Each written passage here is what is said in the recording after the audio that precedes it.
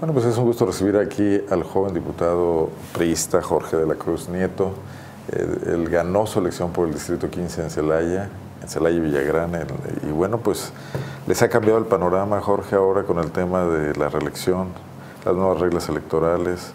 Eh, aunque veo a muchos sí que siguen haciendo lo mismo que antes, ¿no? incluso pre-campañas antes de tiempo. ¿Cómo estás? Bienvenido. Bien, muy bien. Muchas gracias por la invitación y muchas gracias a todos los que nos ven a través de todos los medios que tienen varios temas a tratar contigo, pero vamos al, electoral primero y luego platicamos de otros, si te parece, ¿no? Sí, claro que sí. ¿Cómo les mueve a los partidos el panorama, el, hecho de que ahora ya estas nuevas reglas de juego, más inclusión de mujeres y además el ingrediente de la reelección? Los veo preocupados y nerviosos a muchos. Eh, no, sé, lo personal me parece que deja las reglas muy claras. Creo que estábamos inclusive un poco más nerviosos antes que no había estas reglas a través de las cuales se podían reelegir los distintos candidatos eh, y de, la, de esta participación de las mujeres. Digo, aparte en el Partido Revolucionario Institucional, por estatutos hace mucho que está la inclusión de, mujeres en, un 50%. Entonces creo que por lo que hace a mi partido, eh, me parece que no debe de haber tanta sorpresa. Yo te repito, creo que... Pero no en alcaldías. Más tranquilos. En, alcaldías no en alcaldías a nivel, eh, a nivel horizontal me parece que no, en la parte de regidores sí. Eh, esta parte es nueva, pero me parece que hoy contamos con los perfiles adecuados para que podamos perfectamente abanderar a 23 candidatas eh, a presidentes municipales y 23 candidatos hombres a, presidentes municipales también. El tema de la reelección, ¿cómo lo sientes? pues bueno, me parece que también es una manera como partidos y como políticos de empezar a rendirle cuentas a la ciudadanía, de poder evaluar a los mejores perfiles de cada una de las posiciones para, en el caso que hayan dado resultados, pues poderle dar continuidad a ese trabajo. Eh, y lo mismo, pues en el caso de que no estén dando resultados, pues eh, creo, que, creo que la respuesta debería ser eh, mandarlos a su casa a estudiar un poquito más y que después puedan sí volver a participar. Pero hablando realistamente, la gente sabe poco qué hace un diputado, ¿no? Tanto así que los vemos tratando de hacer campaña como, como otros políticos, ¿no? Repartiendo cosas y despensas y ese tipo de asuntos. La labor legislativa como que no está aquilatada en este momento, ¿no? No sabemos por qué. Quizás porque no tenemos un poder legislativo absolutamente independiente aún, ¿no? Me parece que sí es una de las tareas pendientes del legislativo, pero eh, sobre todo tarea de los diputados. Para nosotros ha sido uno de los, de los grandes trabajos como, como diputado que he hecho, eh, ha sido el invitar escuelas, el participar en foros, en eh, diversas entrevistas, conferencias, acudir a la academia, etcétera, para informar justamente cuál es el trabajo que hacemos a colonias, a comunidades y que sea eso lo que se puede evaluar. hemos procurado en, en, lo mayor de lo posible no caer en esa parte de entregar cosas que a nosotros no nos corresponde. Nuestra labor es, es muy específica, es sí la de representar y, de repente gestionar para la ciudadanía, pero sobre todo legislar y fiscalizar los recursos públicos del Estado. Y es en donde hemos procurado que la gente conozca ese trabajo y que en base a eso sea lo que nos evalúe. Por ejemplo, ¿qué piensas de eh, pues este cada vez más abierto y evidente empleo de, del cargo, de los recursos que da el cargo? De las facilidades que da el cargo para autopromoverse. Lo vemos en el caso de Diego Sino Rodríguez Vallejo, lo vemos en el caso de varios alcaldes que están en el cargo y que están usando los recursos públicos. No le quita eso equidad a la, a la contienda. Y no vemos al árbitro electoral muy tibio al respecto? Me parece que sí, creo que sí, sí, ya hay reglas muy claras que podrían perfectamente aplicarse, digo, por ejemplo, para el caso del, del, alcalde San Miguel de Allende con sus espectaculares y de algunas otras cosas que también denunciamos en su momento sobre Diego Sinué, eh, etcétera, me parece que sí debiera de ser mucho más fuerte el posicionamiento de los órganos electorales y de sobre todo las sanciones al respecto para que empecemos a tomar esta ley de instituciones y procedimientos electorales en serio y que no sea nada más una, una serie de buenos deseos. Eh, me parece que sí, eh, en algún momento... Eh, rompe con la equidad con respecto a otros posibles candidatos. Es un truco muy viejo, ¿no? Que una revista me anuncia y, yo salgo y sale mi rostro, como hizo Ricardo Villarreal. Por cierto, mencionar algo, publicamos un reportaje sobre eso y nos llegó un oficio del, del Instituto Electoral del Estado de Guanajuato pidiéndole a Zona Franca que por favor le informara al IEG ¿Dónde estaban todos y cada uno de estos espectaculares? Como si fuera la chamba de, los órganos de comunicación hacer la tarea del IEC. Pues le respondimos, bueno, pues ahí está la nota, la publicamos, ese es nuestro trabajo. El de ustedes es ir a investigar, ¿no? Claro, hacer la investigación. es una simulación también de parte de la autoridad electoral hacer esos jueguitos, ¿no? Eh, Al rato van a decir, Zona Franca no nos informó, no tenemos pruebas, ¿no? Exactamente, creo que, creo que está muy evidente. Además, es, es muy fácil de detectar y es muy fácil de hacer la investigación. Creo que sí vale la pena hacerse de los elementos que sean posibles para recaudar más información, pero también está la tarea de investigación por parte de los órganos electorales. Eh, creo que eh, hablando de, específicamente de la reelección, donde debiera estar la no paridad, me parece, con respecto a otros candidatos, es donde el candidato va a ser evaluado. Yo sí dudaba mucho sobre si debían o no pedir licencia. Me parece que al final si vas a pedir eh, reelegirte para un mismo cargo, pues evidentemente tendrás que cumplir con el mismo cargo y ser evaluado por la chamba que estás haciendo en ese mismo Recuérdanos cómo quedó finalmente. ¿Qué va a pasar con los alcaldes? ¿Qué va a pasar con ustedes los diputados? Alcaldes y diputados tienen que pedir licencia cuando menos o a más tardar un día antes de que inicien las, las campañas electorales. Pero te y regidores y síndicos no. ¿Y qué pasa con los procesos internos de los partidos? O sea, ¿un alcalde puede jugar dentro de un proceso interno de su partido desde el cargo? Exactamente. ¿No hay desventaja en eso? Pues eh, me parece que pudiera ser una desventaja para los dos lados. Ahora, lo que tenemos que limitar es el uso de los recursos públicos. Me parece que es ahí donde debería de estar la limitación y no en cuanto a dejar el cargo.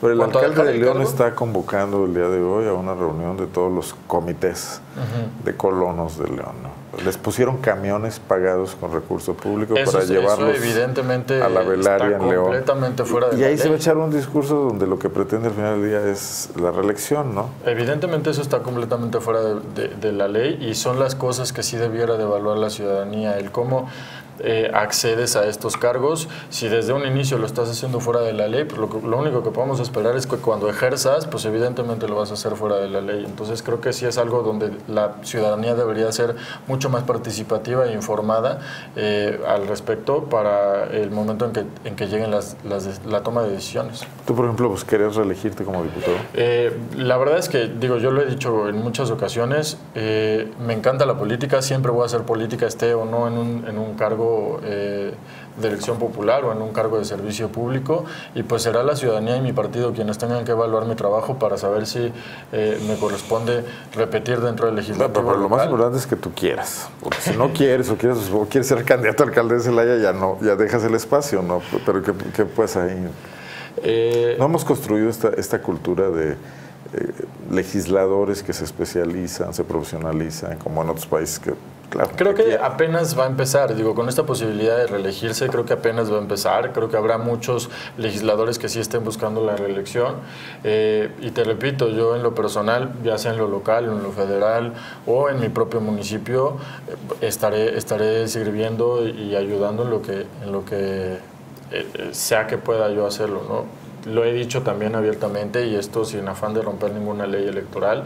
Uno de mis más grandes sueños al participar en política sí ha sido el, de ser alcalde de mi ciudad. Creo que hay muchísimas cosas que se pueden mejorar, eh, eh, pero será, será en su momento. ¿no? Eh, creo que, creo que sí vale la pena como hacer esa acotación, pero mientras tanto, si podemos ayudar en cualquiera de los otros espacios, ahí estaremos aportándole a la gente, sobre todo si estamos dando resultados a, la gente, eh, sea mi partido, pero sobre todo a la gente de Guanajuato. Bueno, y sería muy interesante preguntarte, y ahorita lo voy a hacer sobre el tema de cómo estás viendo la región por la que eres diputado, asolada por el auge de la delincuencia y una delincuencia muy violenta, la zona el corredor a paseo Celaya Salamanca, ahí está tu diputación. Pero antes, vamos, antes de abandonar los temas legislativos, el, el sistema estatal anticorrupción. ¿Quedaron ustedes satisfechos con lo que se aprobó, con lo que se negoció, con cómo quedaron las cosas? Vimos que el techo siempre fue lo que se logró a nivel federal, como si Guanajuato no pudiera ir más allá y se ató mucho a eso. Sí, nos ha costado mucho trabajo precisamente ver en qué parte sí podíamos romper el techo y en qué parte no. De hecho, estamos todavía a la espera de saber si eh, no vendrán impugnaciones por parte de órganos federales, que creo que no debiera de haberlos. Eh, era muy restringida eh, la legislación a nivel federal, no nos permitía mucho, pero dentro de lo que pudimos realizar me quedo muy satisfecho hecho creo que creamos una gran base, eh, te lo puedo decir eh, como secretario de la Comisión de Gobernación, junto con la presidenta también de la misma comisión, estuvimos trabajando muchísimo en las mesas, eh, en las comisiones, consultando especialistas, etcétera, y me parece que hay una gran base. Definitivamente esto, como muchas otras legislaciones, a lo largo de los años tendrá que irse modificando y apretando las tuercas en donde haya, haga falta que se aprieten. Pero se supone que este era un gran parteaguas, que hemos hecho leyes contra la corrupción me parece que es un gran la época de Miguel de la Madrid y que no se ha frenado la corrupción. me parece que este sí es un gran parteaguas. Me parece que esto sí establece una gran base a través de la cual se empiezan a dar autonomía a ciertos órganos, donde se incluye ya la participación ciudadana, donde se sancionan ahora también a particulares. Muchos cuestionamientos al fiscal anticorrupción. Hay muchos cuestionamientos, pero me parece no en cuanto a la forma y a los requisitos que se le establecen, sino en la posibilidad que existe dentro de uno de los transitorios a que repitan quienes hoy están dentro de... Que no se les conoce ninguna hazaña en materia de lucha Exactamente, contra la esa es la misma duda que nos ha quedado a nosotros como grupo parlamentario, es donde vamos a procurar, junto con el resto de la oposición, que no sea así. Eh, sin embargo, si escapa un poquito de nuestras manos, pues estos nombramientos se van a dar a, a, raíz del 2018, muy probablemente con un nuevo gobernador y con una nueva legislatura. Pero dentro de lo que pueda estar dentro de nuestras manos, vamos a procurar que no sea así. nos vamos a echar la elección con estos funcionarios. Que no, se, que no se repitan estos funcionarios y ojalá, si a nivel federal federal avanza esto, que también eh, eh, esto se replique a, nivel local y que podamos hacer los nombramientos previo a, las nuevas elecciones. Bueno, ahora sí vamos a otros temas, Jorge. Eh, la violencia y la inseguridad que vive el Estado. muy comúnmente autoridades como a los que les toca combatir frontalmente el delito, gobernadores, alcaldes que tienen el manejo de la fuerza pública, gobernador y alcaldes, mejor dicho, dicen que la culpa es de las leyes, ¿no? las leyes que aprueban ustedes los diputados. Y vemos un peloteo ahí, mientras el problema crece. Y, creo que lo menos que podemos pedir es que los hombres de la política, los que tienen a su cargo las instituciones, pues no exhiban estos desacuerdos, sino que los resuelvan en mesas de negociación y le entreguen a la población políticas eficientes, políticas que den resultados. ¿Cuál es tu opinión de esto? Me parece terrible la situación que estamos viviendo en el estado de Guanajuato y me parece que contamos con todos los elementos legislativos y un marco jurídico fuerte para que se puedan ejercer estas acciones. Eh, yo lo he dicho ya en muchas ocasiones, eh, cada momento en que se nos ha pedido por parte del Ejecutivo que se modifiquen leyes con el fin de proveerles a ellos mejores elementos, se ha hecho, se ha hecho en los términos que ellos lo han solicitado y sin embargo no vemos la misma respuesta por parte del Ejecutivo.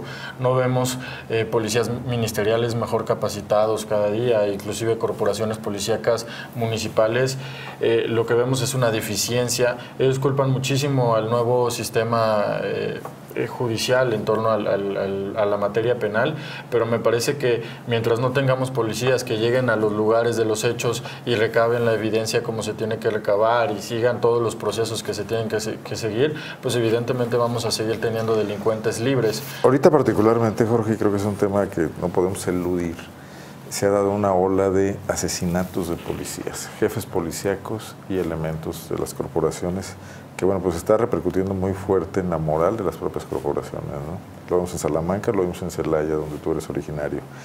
Y el mensaje del gobernador y del secretario de Seguridad ha sido, los municipios tienen que atender a sus policías, tienen que cuidar que no se corrompan, tienen que pagarles bien. Pero en cambio, cuando se decidió hacer el cuartel militar, sí fue el gobernador a exigirles a los alcaldes que pusieran dinero para el cuartel militar y ahora los deja solos con su problema. Es mi opinión, pero no sé qué piensas tú. No, exactamente, y terrible porque además eh, hay, municipios que además sí tienen el mando único, que están vinculados y coordinados completamente con, con el Estado. Eh, en muchas ocasiones eh, Álvaro Cabeza de Vaca ha hablado de esta coordinación que existe entre municipios y hoy vemos cómo... Ellos tienen el mando en Celaya, tienen el mando en Salamanca, tienen el mando en... En Villagrán, en, en, otros municipios, exactamente. Y, es eh, para algunas cosas sí, pero para algunas otras cosas no.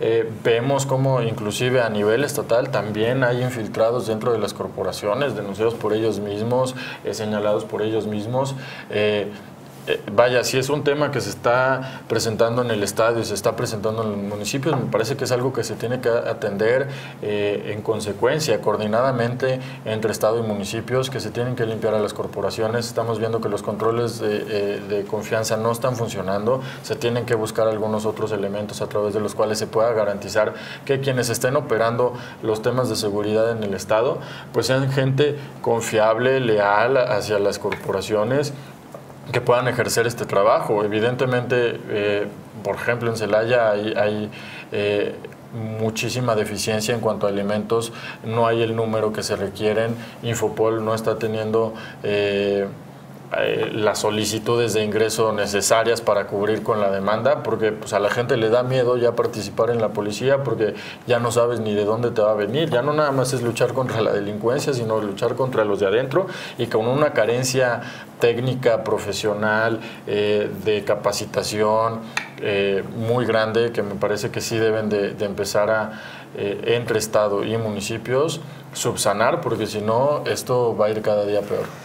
Bueno, y ustedes no pueden sentar al procurador y al secretario de Seguridad en la Cámara a comparecer. Ya está, ya está Ruiz Esparza fue a México a, a responder por el socavón y aquí la, hay una sobreprotección del PAN a sus funcionarios públicos. No, puede la oposición negociar eso, ser un poco más insistente. La verdad es que creo que hemos sido muy insistentes y yo lo he eh, platicado con el coordinador de mi bancada, que al final es quien tiene la voz dentro de la Junta de Gobierno, para que así se haga.